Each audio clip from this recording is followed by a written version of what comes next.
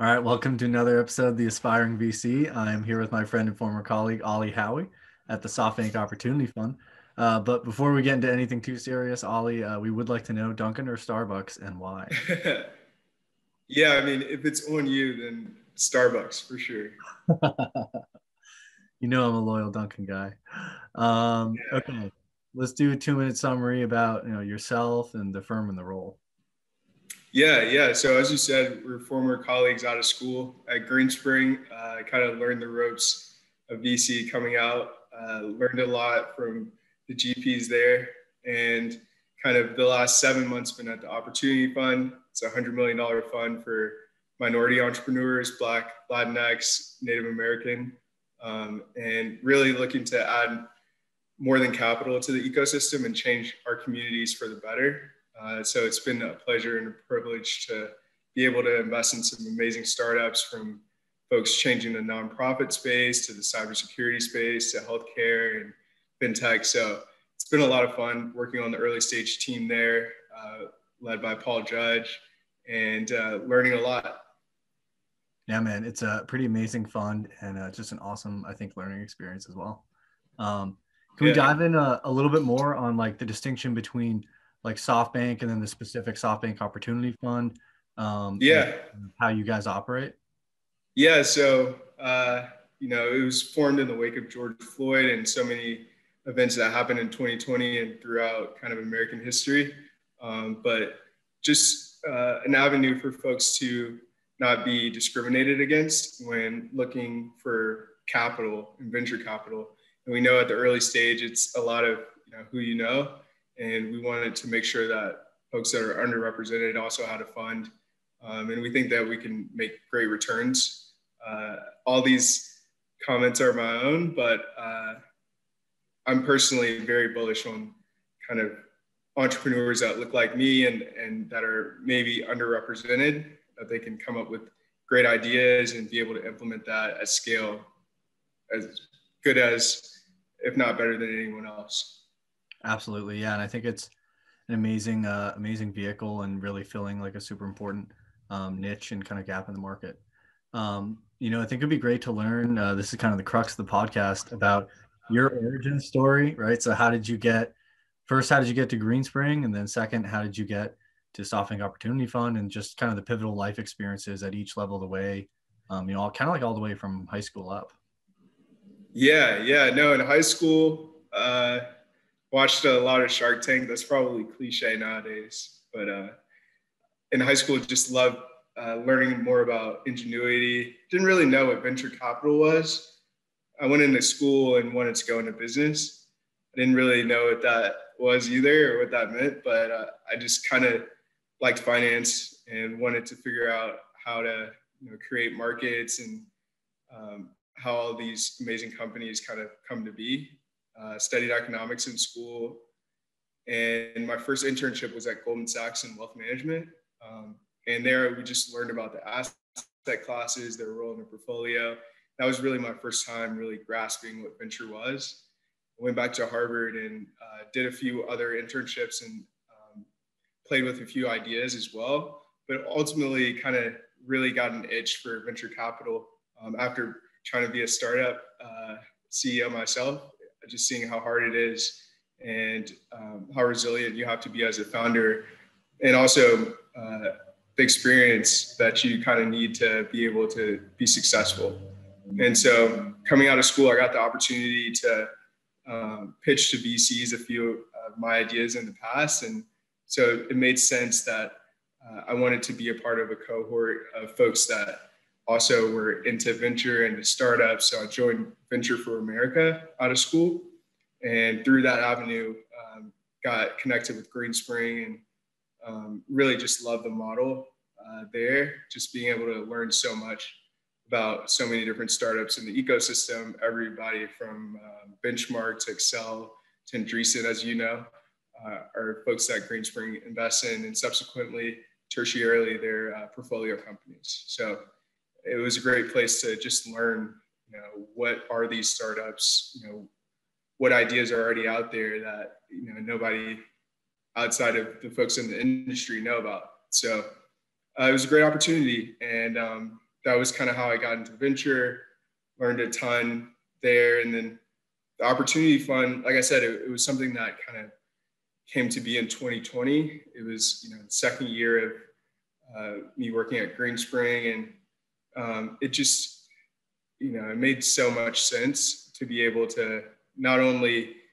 provide returns and do early stage investing, which uh, is something that I'm passionate about, but also give back to my community and figure out ways that um, we can catalyze change and, growth in, in an area that needed a lot of growth and change. And we see, you know, the statistics that 2% or 1% or less than 1% of folks that are minority get uh, VC funding. And so hopefully this makes a small dent in that, small impact. And that's why I wanted to ultimately go to the opportunity fund. Absolutely, man. And you know, two two things I would like to kind of dive a little more into is one, you're my first guest to come from uh, Venture for America. Uh, shout out to Ben Boyd and Hayden Cohen as well, who uh, cohort. Uh, shout out to. Um, so I'd love to dive into that, and then also the Goldman um, program. It seems like both of those were pretty pivotal. Uh, pre- sorry, pretty key pivotal moments that you know opened these doors next. So what was it that got you into both of those programs? Yeah, yeah, no, good question. I think um, Goldman. I was development chair of Harvard uh, Black Men's Forum, and one of the uh, duties that I had was kind of liaisoning with uh, folks that would come to campus. And Goldman Sachs um, was definitely on campus, and they had a great presence there. Uh, I remember folks coming in with very nice suits and um, able to speak very articulately about the markets, way more um, articulate than I had ever, you know, seen before. And so I really wanted to be a part of that and figure out how to uh, learn more about what they were doing. At the time, I was, you know, 19. I probably knew just a little bit about investment banking as a whole, but um, I knew that they were one of the major players. And so after kind of asking them for money for the club, um, I got an opportunity to interview with a wealth management team. And that's kind of how it came to be. Um, met some amazing folks there, actually uh, in New York and in Atlanta, where I'm back. Um, so it, it was a great experience. Um, Carl Peoples, Nicole Ross, uh, some great folks that um, were able to give opportunity to me at a, at a young age. So it was a good opportunity. And then for Venture for America, uh, like I said, I'd kind of been around um, VCs a little bit, just pitching startups and um, in the startup community. And that's one that I heard of uh, from a friend um, that kind of also was an entrepreneur in college. Um, and Baltimore was one of the cities that was on their radar. Um, and I have family from Baltimore. I call that one of my homes. Uh, so it was something that was on my radar. And that's another mission that I was aligned with, just being able to provide economic opportunity to uh, cities that may not necessarily have the same representation that a Silicon Valley or New York uh, would have. And so um, it made a lot of sense there too to be able to be a part of the Baltimore community, give back to that community, uh, one that I grew up in, and then also be able to invest at a global scale at Greenspring. So um, kind of you know, went through that process and Greenspring was the, the one uh, firm that I applied to and, and, wanted to be a part of. So it worked out from that perspective. Um, and uh, yeah, I think great cohort of folks from both experiences and opportunities and blessed to have uh, both of those. Absolutely. And, uh, you know, I just realized, I don't know why I didn't bring this up, but we talk about like how you got into Harvard, right? I, I think there's a lot of people that go after that. And I don't think people, a lot of us even understand, like I certainly don't even understand what the process was like when you were going through recruitment for that. Uh, so it would be kind of cool. Yeah. Yeah. No, another blessing. Um, I, I don't really know their whole process. I applied early. Um, I was valedictorian of my school. I'm in high school in Roanoke, Virginia. Um, but I really just you know, shot my shot. I think that, uh, you know, Harvard is an amazing place to uh, go. And I think they do have a, a high bar, but I would say a lot of folks that went to other schools learned some of the same things that I learned, but really it's like the people that get to meet um, and be in classes with. And that's another one. I don't really know why they picked me, but uh, I'm glad that it happened. Uh, it seems like a while ago, but it wasn't that long ago. And um, I think regardless of if you go to Ivy League school or not, um, there's so many resources out there today, especially with uh, a computer. Uh, you can go on YouTube and watch CS50, one of the computer science classes for Harvard, for instance, that every freshman takes, and you can just watch it online. So I think it's great that everything's more democratized now, and you don't necessarily have to get in to be in a Harvard class. Um, so that's something that I would definitely urge viewers or folks that are interested to to do, especially if you're in high school already. That's a great way to get a leg up. Absolutely. Um, you know, one of the you know uh, key pieces of the podcast as well is kind of the practical tips and advice for the listeners. Again, you know, a lot of yeah. the, you know high school or early young professionals trying to break into the industry. Like, what are the like things that you did? What was your strategy on networking? What what kept you with the grit and the motivation going after opportunities and succeeding once you got them? Um, you know, what are those things that you provide to some of the listeners? Yeah, yeah. Uh, you only need one yes. Uh, one of the managing partners at SoftBank, uh, said that, and makes a lot of sense. Um, you just got to keep being resilient, and uh, at a young age, I mean, it's it's tough to be an investor and to be kind of qualified to do so um, because a lot of great investors are former entrepreneurs or um, have some sort of tie, and so I think that you know at a young age you should try to do those things, even if it's not if you're not going to spend your whole life doing it. Um, especially in 2021, I remember in school we made a few websites um, and app designs and uh, different business models just to see what would be uh, appealing.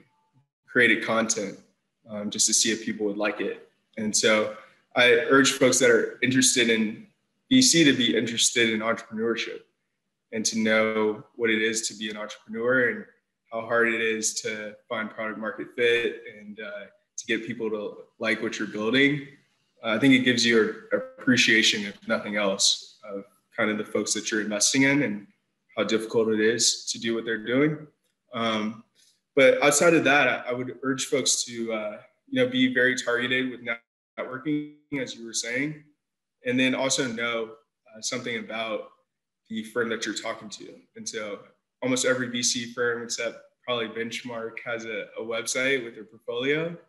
Uh, you can go through and, and see which ones you like. Um, and so I found that to be helpful on both ends, both trying to break into venture and then people that came to me and wanted to break in when they did research on like a portfolio company or when I did research on a portfolio company, it gave uh, a starting point um, to that conversation. So I would urge folks to follow uh, stuff in the news, TechCrunch, uh, 20 Minute VC, or kind of whatever news outlet you like uh, to follow the news and then um, to be strategic about LinkedIn or Twitter um, connections. And then once you get those connections, just know something about the uh, investments that that VC does. Um, she or he spend a lot of time uh, vetting those startups and then post investment, they're probably a board observer or on the board. And so they know a lot about it and they probably want to talk about it. And so if you can bring good points, um, even some that you like and some that you maybe don't like as much, I think that's a constructive way to have a conversation. Totally. And I think having someone that's done their homework, even if it's just on knowing your background when they reach out to you, uh, just makes a huge difference. Um, mm-hmm. And yeah. all these people have so much demands on their time that if you can show that you've done a little bit of homework first, it really will make you stand out. Um, yeah, agreed. One thing would be cool to dive into is, you know, I feel like we have a sense for why you liked venture, and I guess part of it was that you know you did you were a builder, you were an entrepreneur yourself, and you got to talk to VCs from that table. I guess you know what are some of the other aspects that drew you and maybe keep you in the industry, and then you know what is it about I guess you're more on the kind of Series A and earlier stage side, and, and so what about that? And then about you know supporting the diverse founders as well. Yeah, yeah, great questions. I think that um, you know being a venture capitalist, a generalist, um, looking at different sectors is something that really interests me. In school, in very early school, you kind of have different subjects, um, you know, math, science, and you get you have to learn about all of those. I really enjoyed that type of experience as you get older in academia, it tends to make you concentrate or focus. But in VC, um, you can really have that same kind of childlike mentality where you're learning about education and then learning about a science-based uh, company and then learning about um, healthcare and then learning about fintech. And so you kind of have to know a little bit about all of that stuff. And you get a lot of stimulation, I think, in doing so. And so it's always an exciting day. It's never boring. You wake up to a calendar full of folks that uh, are smarter than you and know a lot more about their startup than you do. And you get to ask them whatever questions and um, get to know them. And it's a lot of fun from that standpoint. Um, early stage, it's even more so that it's even more volume. It's more people to look at. Uh, it's uh, more about the founder. It's more about the team and what they can turn the ultimate product or idea at that stage into. A lot of folks you know, have a product and then want to make it a business or have a, um, some users and want to learn how to monetize. Um, so it's really uh, less stringent than the growth stage because you don't know what the company is going to be in five years. You just kind of know, hey, this is a great founder. It's a great market. They have um, traction in this initial product. I believe in them, and I think I can help them um, turn this into a real uh, billion dollar business. And so that's really exciting. Uh, just being a part of that journey and getting to know the founders. It's the longest uh, journey uh, from there to exit when you're an early stage investor. So you feel like a almost like a team member or co-founder, and um, it it's really just rewarding when it when it does work out. It's very risky, um, but it's a lot of fun, and so uh, enjoying my job definitely. Opportunity fund, it's even more so because then it's uh, I get to help this other founder of color break down barriers for the next founder. And, um, you know, that ripple effect is uh, something that hopefully lasts for a long time. Yeah, we talked about um, in a prior podcast episode, talked about with one of the guests about how, you know, a successful tech ecosystem, whether it's in a certain state or even just a certain city, uh, starts to have these ripple effects, right? And so, especially if that ecosystem is focusing on diversity, uh, you have one founder has an exit and well now that founder's got some money and maybe they start angel investing right? And then they start yep. other businesses and so you have all these uh, future ripple effects that are made. Um, and it's kind of like this rising tide that lifts all boats. Exactly exactly. That's that's the goal. I mean that's the difference to me between venture capital and like equity investing. Um, you're along for the ride and if you buy Apple stock, nobody at Apple, unless you're buying very big chunks, will know who you are. Um, but these early stage founders, you're with them in the trenches and going to the board meetings and really helping them, hopefully, uh, add value and kind of change their market for the better. So, another cool line I heard once was that this is the only area in finance where the security selects the investor and every other part of finance selects the security. But you can't just, you can find yes. the greatest startup and if they don't want you in the round, you're not investing. That's true. So, um, there's a pretty unique element to it. Um, I think this transitions well into the next question, which is, what is the impact that you really want to see in the world and kind of twofold like what do you want to see founders going out tackling and then what do you want to be kind of your direct life impact yeah yeah you're coming with the deep questions here Matt. yeah i know like these uh, yeah i mean i just want to leave the world a better place than you know when i came and um, you know hopefully invest in a lot of folks that are smarter than me and that can do things that I can only dream about, and I can believe in the dream and invest in it. Um, I think that you know, I just want more opportunities for everyone, like equal chance at opportunity, and that um, you know, folks are ultimately given the same kind of starting point as well as the same metrics and hurdles to hit. I think a lot of times VCs have these certain hurdles and metrics, but everybody's starting at a different position. And so hopefully I help a little bit in moving everyone to kind of equality from the onset. Um, yeah, I mean, it's really about you know what you do for others that is lasting. You know, just being one person. Um, so just giving back to others and hopefully giving some small tidbits of wisdom or a small check to someone that is able to do way bigger things um, than I could with it. So um, I need to think through that a little bit more. It was a deep question, but uh, that's I think that was my initial reaction. Yeah, no, I really like that. Um, well, if you're ready, man, we can go into some rapid fire questions here. Okay, I'm ready. First one. So these are like short answers, right?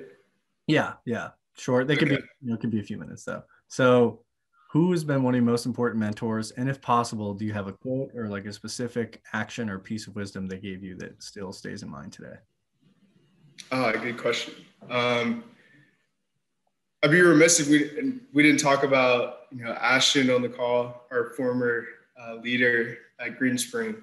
Um, I think he taught us a lot about trusted relationships and just how to you know gain a network of folks that uh, can be champions for you and you know that may again you know have more expertise in certain spaces so you're able to kind of lean on them and understand more by you know working with others and creating a better result as a as a um, byproduct so i would definitely name him as a big influence. He taught uh, me a lot about venture. I'm sure you too, um, just about how to think about it. And, um, you know, just seeing him on the day to day, how he works and being able to also, you know, talk to and empathize with um, entrepreneurs as well as fund managers is a great quality and something that um, I hope to take yeah, yeah. I mean, it is really amazing what he's built at, at Greenspring. Uh, it's truly unbelievable the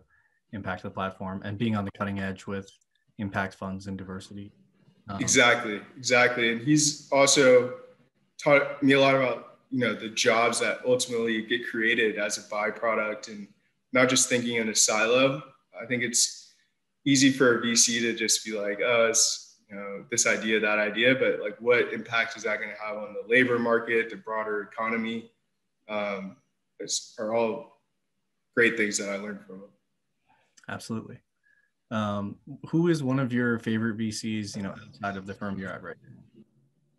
Yeah, one of the one of my favorite VCs, I would say, is Barry Eggers. First, he was able to kind of, you know, do B2B SaaS, which sounds like uh, you know something that is from an investor perspective kind of um, our sweet spot, right? Because you, you get to have like the contracted revenue and you can look at churn and things like that. So it's great from that perspective. He was very successful, but then he was also able to invest in Snapchat and other consumer companies. And so just that versatility is something that makes me admire him and being able to kind of listen to um, the masses, even if you don't necessarily uh, identify or you're not the end user of a product, if you're still able to understand kind of the mass appeal at a early stage. Uh, I think that's very difficult to do, and one reason why I look up to. Absolutely. Um, when you look at startups, what are some of the characteristics about a good startup that you know, get you really excited? Yeah, yeah. Like I was saying, I mean, I, it really starts with the founder and their vision for the company and the founding team. And so that always gets me really excited. Uh, it always comes back down to people. And so that's the number one thing an early stage investor. Um, at least I look at, I can't speak for everyone, but um, I think you know finding product market fit and having the right market and all of that is very good, and are also things that I look at and traction and revenue growth um, are all very important. I look at those as well. I think it's no one silver bullet where it's like this one thing will definitely uh, make a great startup, but it's often a combination of just resilient, humble founders that are really good at whatever they do and that are uniquely positioned um, to do so. And then, you know, having the right product, being able to expand upon that product and not be stagnant in the, in the marketplace, but something that's always growing and you're always getting feedback and making it better. And then uh, obviously the market size determines how big it can be. So that also has to be there. Um, I think it's elements of all of that. And it's ultimately how much people like what you're building and people are desperate for your good and what you're making. I think you'll have some success. And if you're a great founder and you have the vision to capitalize upon those initial users and make sure that they stay and sticky, that's something that we would we love to invest in. Um, the last one here. What are some of your favorite like podcasts, books, blogs, um, both on the venture side and on kind of the promoting like diversity and equality side? Yeah, I mean your blog, uh, 20 minute VC, that's a good one. Um, I think a16z has a good one. Um, um, venture deals is a good one, as you know, for folks that are coming into the industry. Uh, that's one that's highly recommended. Um, I think, you know, it's just so many resources nowadays more than ever before to just go on the internet and find new things. So I would encourage folks to you know read those traditional books but to also look at you know live case studies and things that are in practice um, and a lot of blogs uh, come out subsequent to an investment and so furthering that theme of you know following a gp or a venture fund's portfolio if you can kind of follow up on their announcement and their blog post and um, different you know, uh, publications subsequent to the investment I think those are all really good things because a lot of times venture capitalists have great insights after they make an investment. And so the blog posts after like a great investment uh, is also something to watch for and, and look at. Totally. Yeah, I think the savvy listeners, if they start knowing all the names of the venture firms and really obsessing over the websites and the blogs, you know, they will start to know a lot about who's doing what and what's going on with these companies. Yep. Um, yep. Okay a fun outro that we took from Tim Ferriss. Uh, love this question though.